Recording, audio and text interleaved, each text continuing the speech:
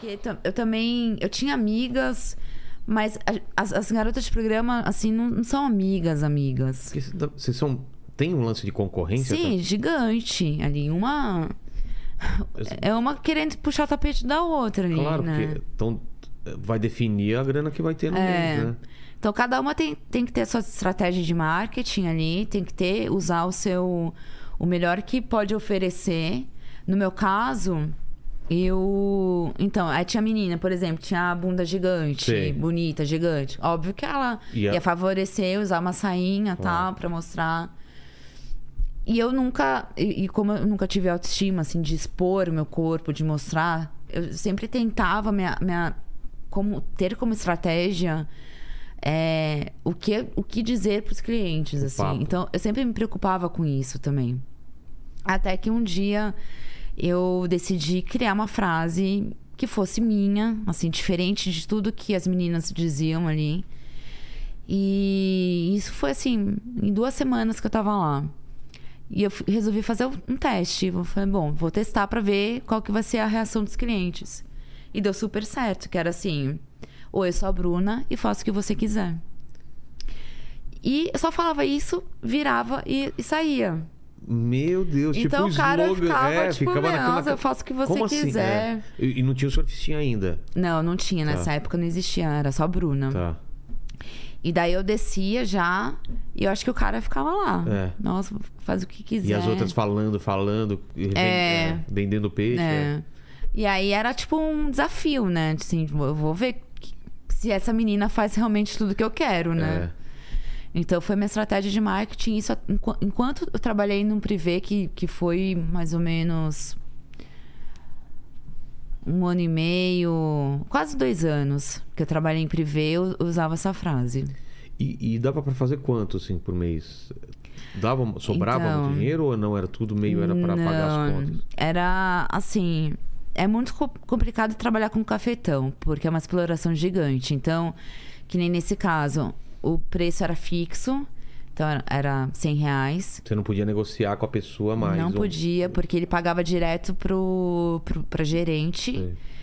É... Não podia fazer um extra. E já era pacote completo, que a gente chamava. Então já, o anal já incluía. Depois eu, eu, descobri que tem lugares que anal é a parte. Então é. não inclui no, preço, no cachê total ali, né? E... Mas nesse caso era assim. E aí era 40 para menina, 60 para casa. Aí. É, tudo bem que a gente não pagava moradia, não pagava alimentação tá. do dia a dia.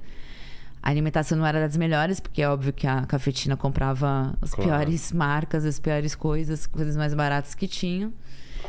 E a camisinha também não, a lavanderia também não, era por conta da, da, da cafetina. Da então a justificativa dela de ficar com 60% era para bancar tudo isso. Mas é óbvio que ela tirava um lucro muito maior, é. né?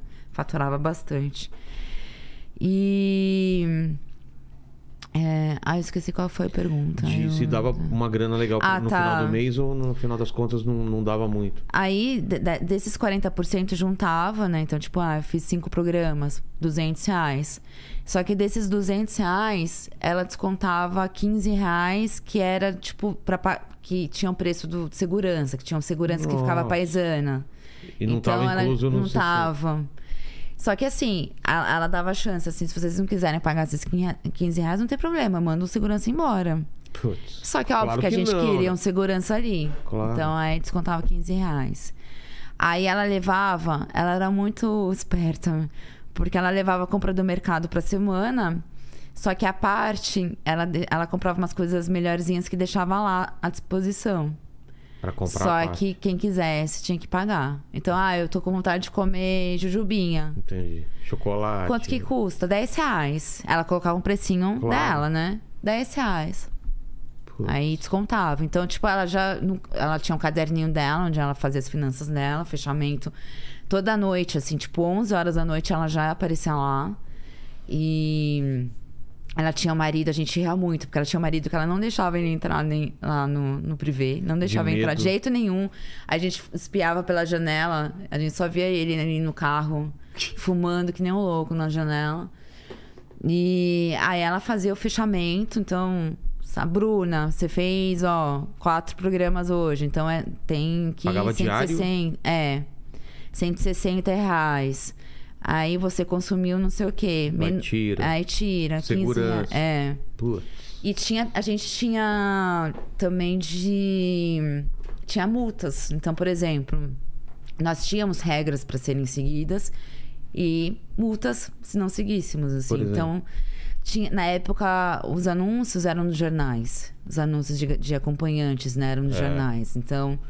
E, e descobri que era tudo fake, assim, eram anúncios que, de meninas que não existiam. Então era assim, ah, a mesti é, no anúncio, mestiça, de- 19 aninhos, mestiça, bunduda, não sei o que, não sei o que.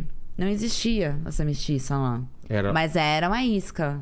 Entendi. Porque a partir do momento que o cliente tá lá atrás da mestiça, Ah, ela não veio ah, cadê a hoje. mestiça? Tá no É. motel. É. Tá atendendo. Ah, tá bom. Já que tá ali, Claro. vai ver as outras e já, já vendeu um programa ali. Exato.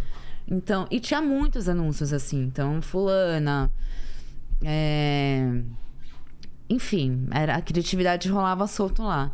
E pros anúncios, pros homens, descobri- no- nos anúncios, é, não tinha o endereço. Tinha apenas o telefone.